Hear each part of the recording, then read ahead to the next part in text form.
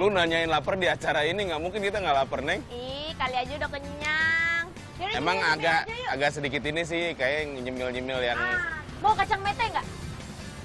ah sama teh Iya, anget ya. kan? Ah, betul. Lucu, lucu. Ayo, ayo. Mana? Nih, ini tempatnya.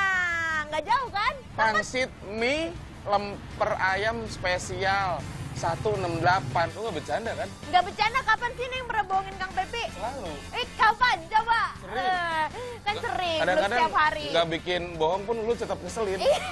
iya, itu mah nama tengahnya Neng. Neng jangan bercanda Neng, ini gua pengen kacang gua agak masih agak-agak kenyang gitu. Jadi soalnya baru makan perut gua. Ini apa-apa, iya. Ntar Neng kasih kacang mete kecil-kecil. Terserah Kang Pepi mau makan kacang mete Ya aja, udah. ya udah. Ya nggak udah terserah lu deh. Gua ikut aja ya.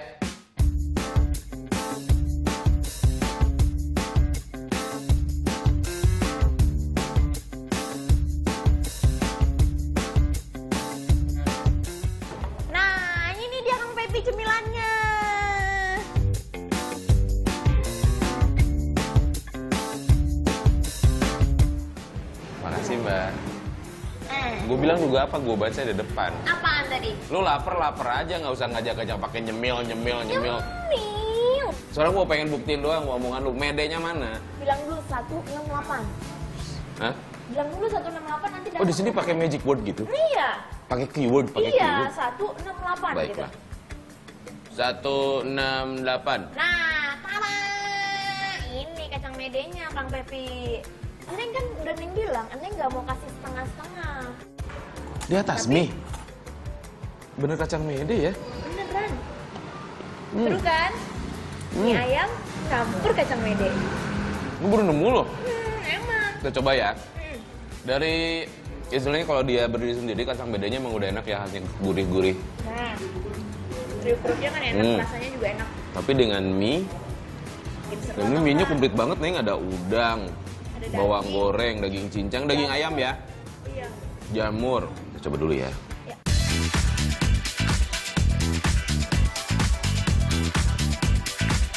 Gurih. Kalau ini mie-nya tuh kayak keriting-keriting gitu ya. Hmm, dan lebih lebar ya. Mm-mm. Coba yang ini, Neng. Oh, ini pakai apa ini, Neng? Cobain deh Kang. Ini nih, kuahnya nih. Di dalam kuahnya ada sesuatu. Oh, ntar dulu, Neng. Itu apa tuh? Coba Kang Pepi. Tebak. Urat sapi. Nah,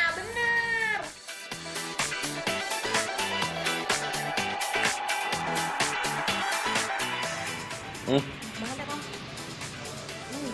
kaldu sapinya luar biasa nih, Neng. Hmm. Hmm. Nah, kalau emang menyukai ini bisa menggunakan ini ya. Nih, ada sambelnya.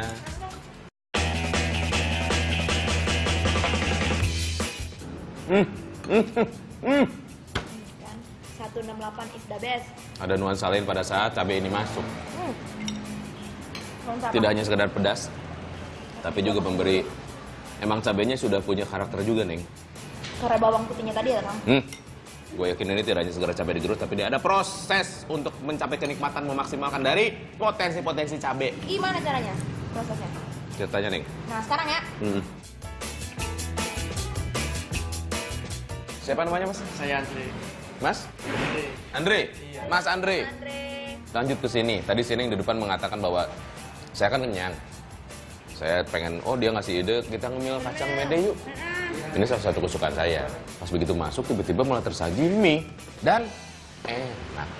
Ngasih nuansa lain. Ide dari mana, Mas? Uh, sebenarnya kacang hijau itu untuk mengimbangin rasa aja deh. Jadi kayak ada tekstur crunchy-nya selain ada Hmm. rasa meaty-nya dari daging jamur gitu. Biasanya kalau mie kan lembut-lembut aja tuh dari dagingnya, Iya. mie-nya, jamurnya, terus ini ada kriuk-kriuknya, bukan dari kerupuk tapi Kang. Ini kayak pembalance gitu ya, Mas Iya, ya? betul. Hmm. Ada berapa varian Mas di sini, Mas? Dari mie ayam. Kalau Sampai ke- sebenarnya ada dua pilihan, Hmm. sama yang lurus yang dimakan sebenarnya itu. Oh iya, Neng yang lurus. Cuman kita main di toppingnya aja jadi kayak ada sapi, Oh, spesial, somi, Hmm. Yang ada kuah kentangnya itu enggak. Saya mau langsung sini sambal nih. nah, Ini sambal tidak hanya sekedar Sambal kayak biasa. aksesoris, tapi dia pun kayak sudah punya warna tersendiri, Mas. Ini pasti sambal ada prosesnya, tidak hanya sekedar sampai digerus kan? Kita sambal ini buat sendiri sih. hmm, Iya. diapain tuh? Cabai-nya direbus dulu, Mm-mm. baru diolah. Ada unsur bawang putih. Ada juga Nah, lari ke sini. Gede banget ya, Kang? Mas ini lemper apa timbal sih? Gede amat. Bukan cemilan, itu makanan utama. Kan biasanya kalau lemper langsung digigit. Ini berhubung gede pasti mesti potong-potong ya. Karena kalau digigit, iya.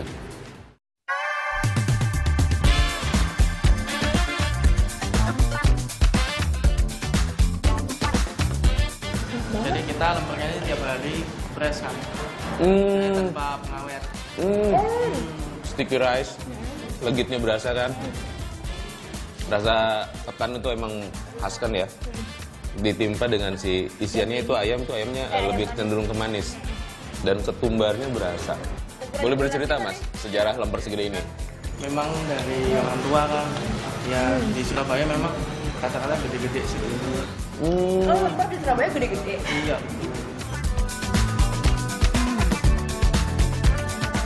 一六八后者生疾病。 Oke, okay, Fun. Oke. Ting ting ting. Ini udah punya. Ini udah punya. Punya punya punya monyek, monyek. Apa tadi? Iliufa. Iliufa. Hao, ce, sen, ting.